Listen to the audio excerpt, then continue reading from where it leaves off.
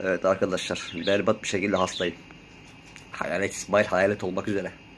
Öyle bir şifaya kapmışım ki. Of demeyin. Boğazlar. Boğazları gitmiş durumda. Ağrıyor konuşmakta zorluk çekiyor. Sanki burada bir şey batıyor. İki gündür böyle video da koyamıyorum. Yorgan döşek yatıyor. Pembe. Aldırmayın pembe olur kızımın yatağı da.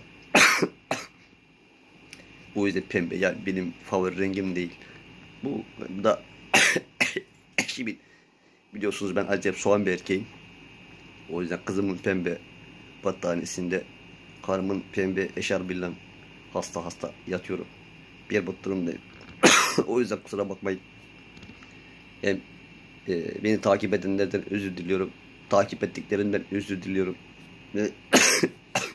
Her şey üst üste geldi. Kanalımla ilgilenemiyorum. Komşularımla ilgilenemiyorum. E, beni takip eden siz e, hayalet severlerle ilgilenemiyorum. E, o yüzden lütfen kusuruma bakmayın. Emin olun yatak, yorgan, döşek böyle atıyorum. Konuşmakta da zorlanıyorum. Ama sizlere de haberdar etmek istedim.